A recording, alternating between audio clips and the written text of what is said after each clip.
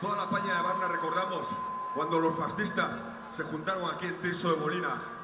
Y toda la peña de Barna recordamos cómo salisteis para echarlos de Tirso de Molina. Cómo de todas las calles crecieron barricadas. Cómo de todas las esquinas nació fuego. Fuego antifascista. Fuego contra el fascismo. Y toda la peña de Barna recordamos recordamos muy especialmente cómo gritabais, Madrid será la tumba del fascismo. Y hoy, estamos aquí, orgullosos de tocar en el Centro Social Ocupar la Traba para la coordinadora antifascista. Hasta la victoria siempre. No te rindas, Madrid.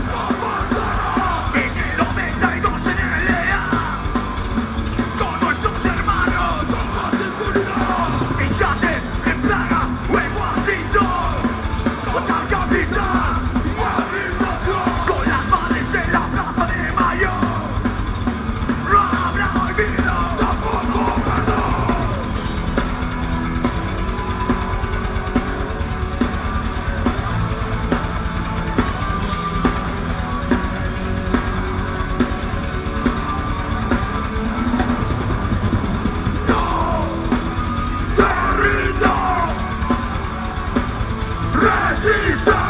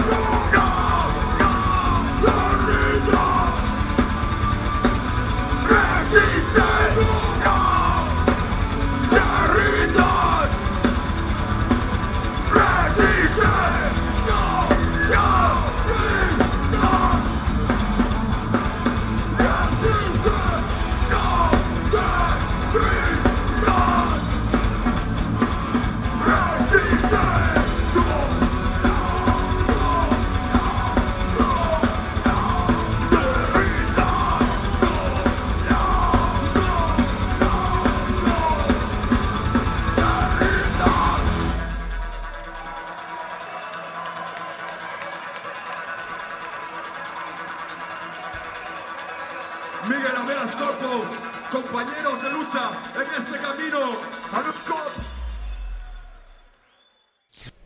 Bueno, nosotros estamos evidentemente totalmente de acuerdo con la difusión libre de la, de la cultura. Pensamos que la cultura es patrimonio de, de toda la gente que la, que la usa, que debe ser de libre acceso y apoyamos cualquier tipo de iniciativa de difusión libre.